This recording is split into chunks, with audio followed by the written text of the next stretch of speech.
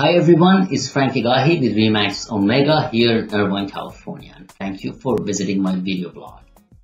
If you're looking to buy a home, how do you know you're buying the right home?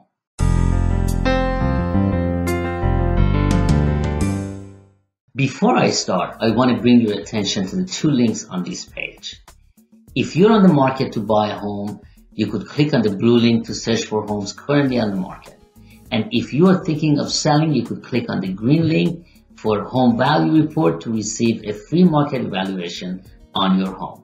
Generally, if you're looking to buy a home and you find a home in the neighborhood that you want, with number of bedroom and bathrooms that you want, with the price range that you want, that might be the right home. However, as most of you who've looked for a home have experienced, these are not the only factors.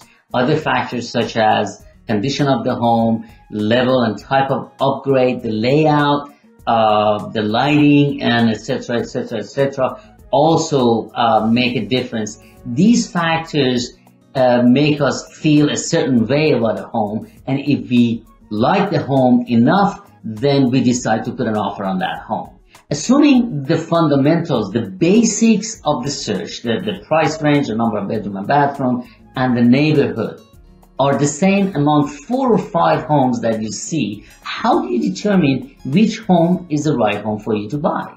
As a general rule, if a home meets 80% of your wants and needs, that should be the right home. It's very rare to come up with a home that meets 100% of a buyer's wants and needs. In evaluating which home is the right home for you, you should uh, make sure you are in the location that you want with the orientation that you want. Uh, make sure you uh, evaluate the price, look at all the comparables and consult with your realtor as to what is the best price you could get the property for.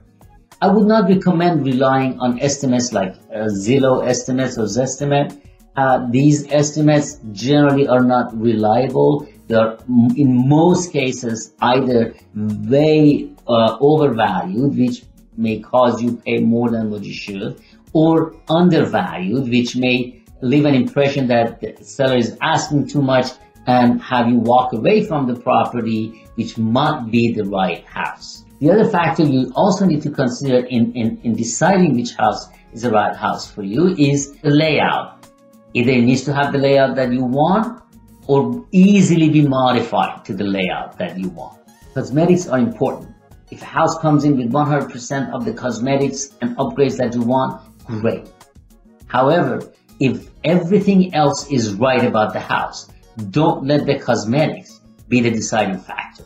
It's rare to find a home that meets 100% of your wants and needs. If a house meets 80% of your wants and needs, that, that is most likely the right house. Stay firm with your need list and be flexible with your wish list.